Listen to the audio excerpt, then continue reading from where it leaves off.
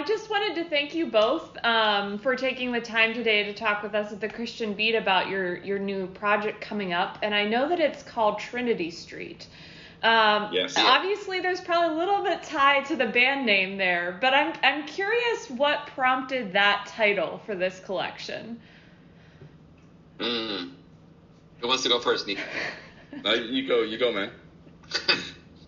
Well, part of the part of the reason we're called Trinity is that we had the idea to start a band in Ireland, because as Dutchies, uh, in our teenage years, we would go to Ireland oftentimes to to to be tourists, but also work on a farm, also do some evangelical work on the beaches of Ireland, and uh, so for us, going to Dublin, for instance, was quite a weird experience because as as pastors' kids, we would see Trinity everywhere. You know, it would be Trinity Street, Trinity Square, Trinity Church, Trinity College, and um, I, th- I think that's one of the reasons why when we came home and we started this band, we thought of the name Trinity. Also because we started out with only three of us. Fair. but very soon we discovered, very soon we discovered that we couldn't do without a good guitarist. So we asked our other brother, our older brother, who who at that time had a very different life to us because we were we were students. He already had uh, a like a, a, a nice eight to five job and, and, and a wife, and so at first we thought we would do it without him, but in the end we couldn't do it without it. So we asked him to join us, and then with all the Irish experience, we wanted to be a, band with a little bit of a, of, of a folky Celtic Irish sound.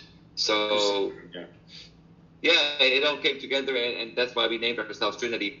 It's only recently, in the last few years, that we've actually really uh, grasped the whole meaning of Trinity. You know, that's funny.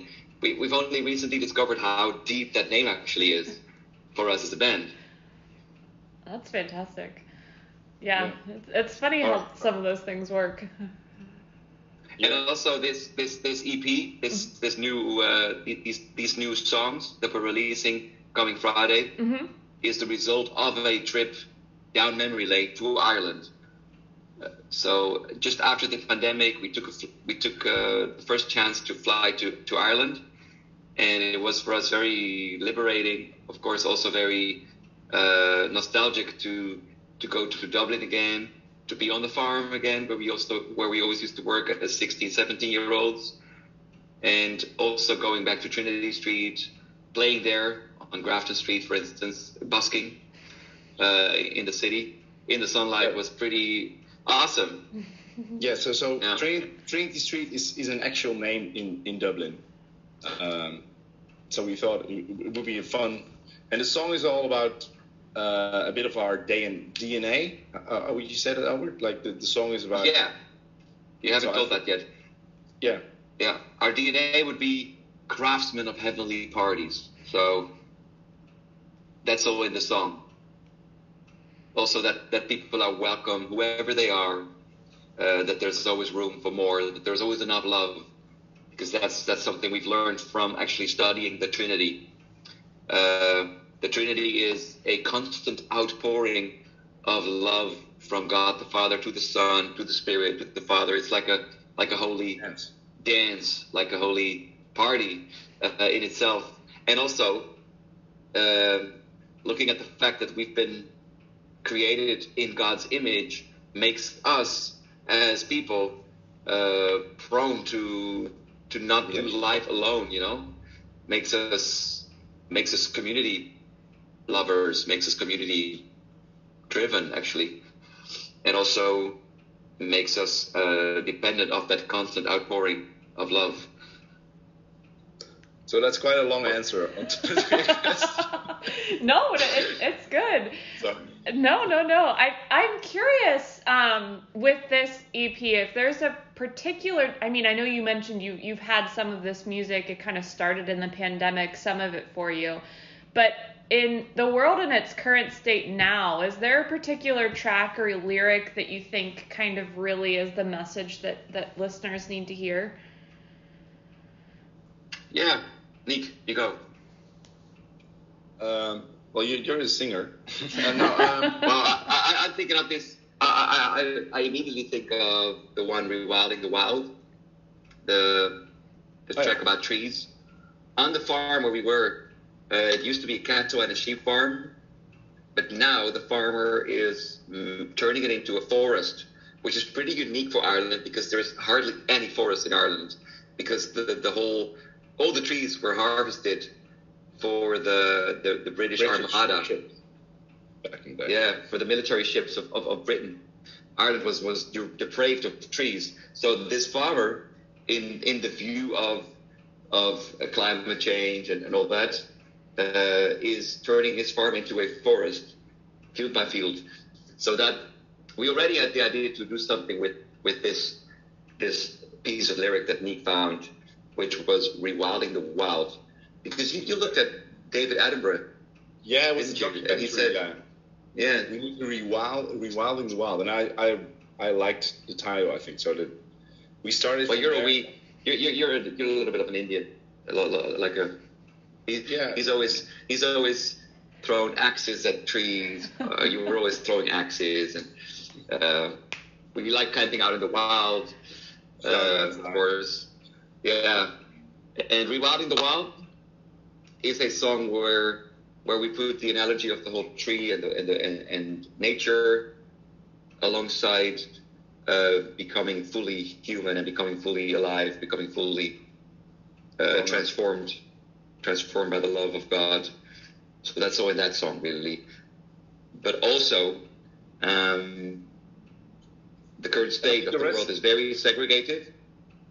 The people are segregating more and more, polarizing. We're, we're more and more uh, in our social echo chambers on social media.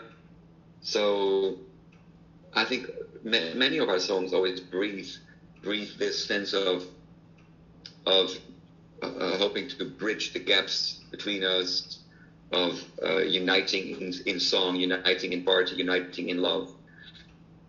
Um, so yeah, and maybe maybe the the most of the songs were born just out of fun, uh, really.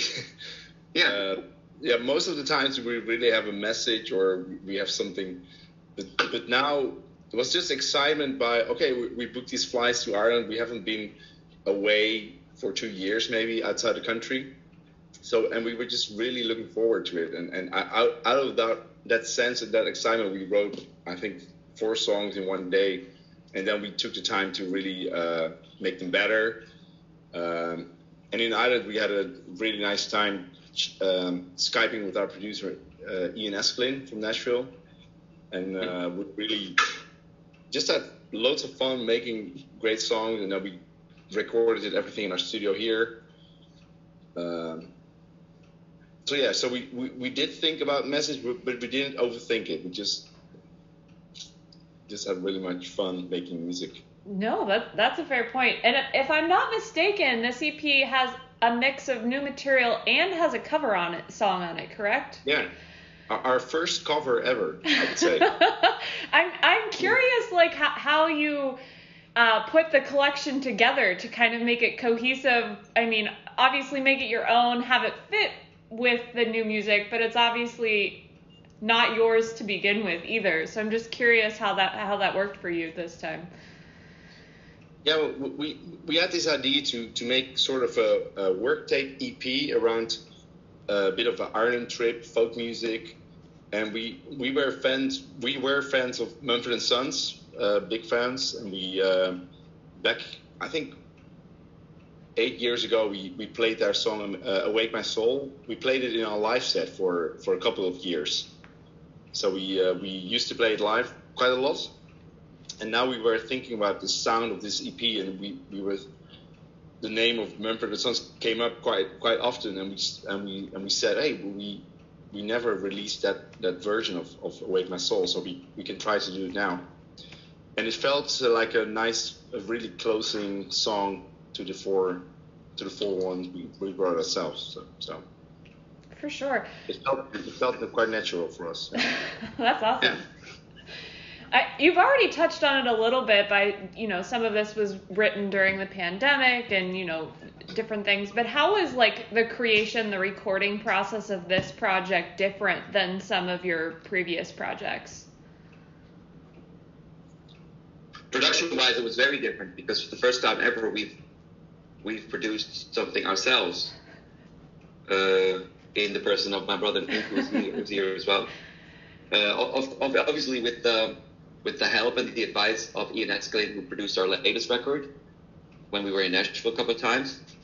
He was here. He was over here as well for a week. But now uh, we've we've taken the the boldness and the step and the risk of doing it ourselves for the first time. Yeah. Oh, that's awesome. So production wise, very production wise, very differently, and also approach wise differently because this time we've we've sort of taken a trip, this trip to Ireland, which mm was only a weekend.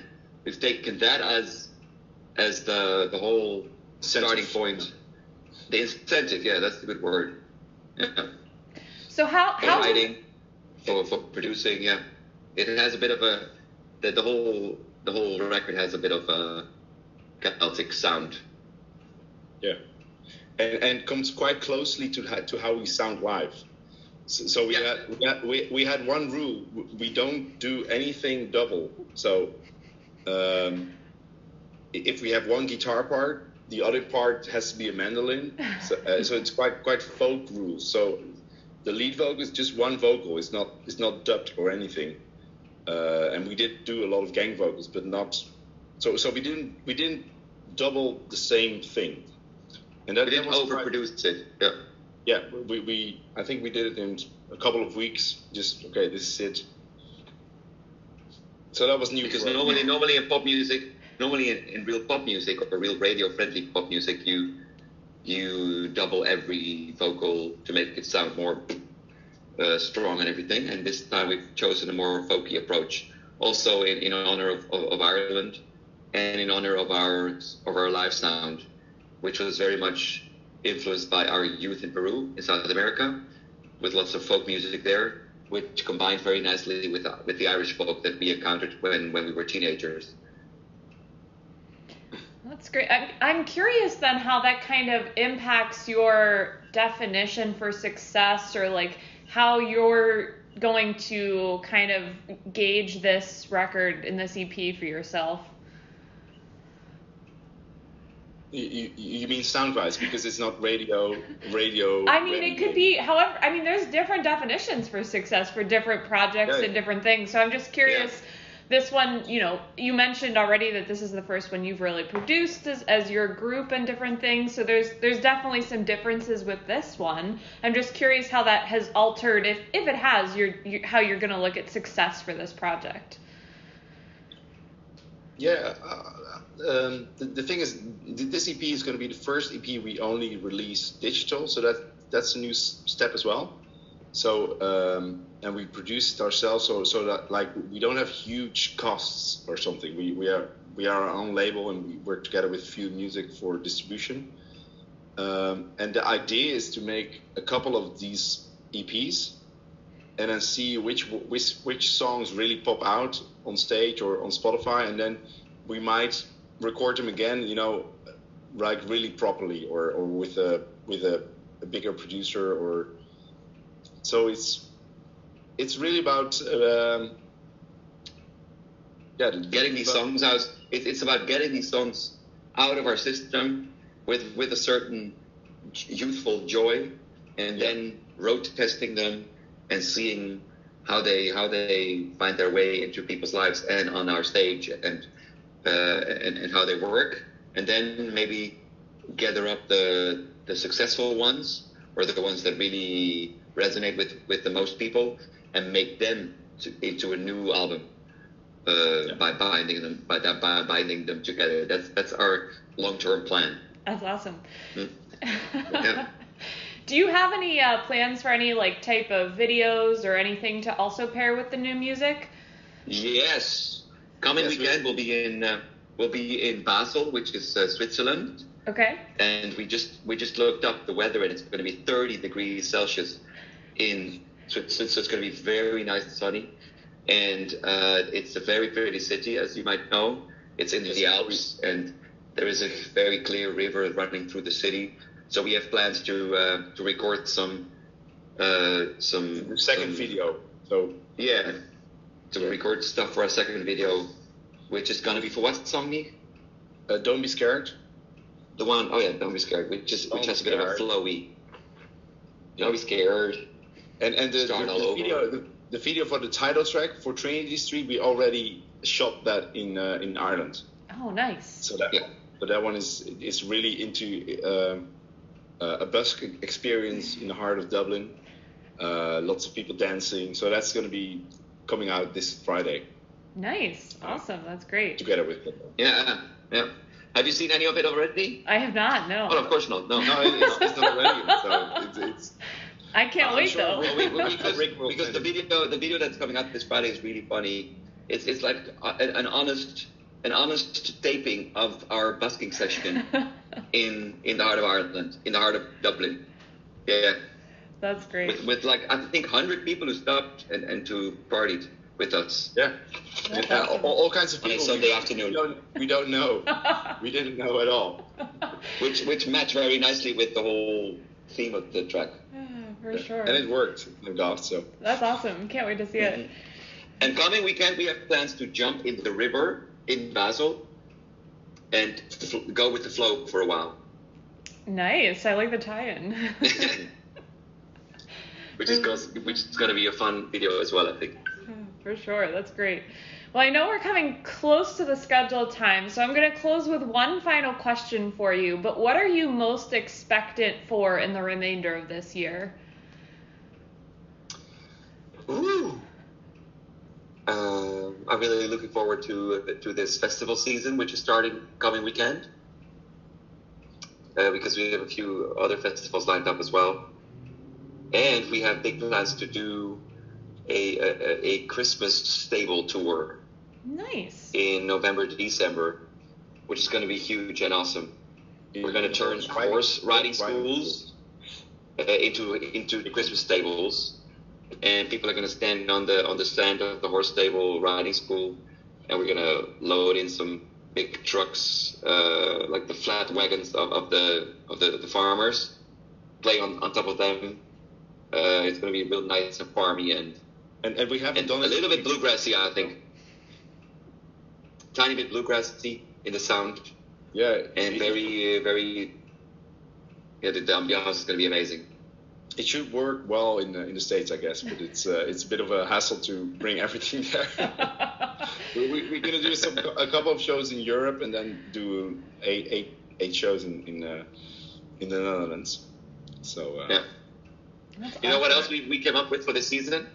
We decided to meet our to meet our, our like hardcore fans which are uh, about 1000 of them yeah. 1500 that's already Like the, the, supporters, the members, the, the official. yeah like the, the, the, official fan base is, is, is, is made of 1500 people and we're going to meet those people at different locations coming summer and we thought of doing uh, a potluck dinner with them and also making them bring all their garage sales stuff and putting it in their trunks so it's going to be like a trunk sale potluck concert outside. It's gonna be cool. farmers uh, night out yeah That's awesome. Well, I just wanted to thank you again, Albertini, for taking the time uh, to chat with us uh, today. I really do you too appreciate Jesse it. yeah You too, and say hello to everybody. Everybody there. Absolutely, absolutely.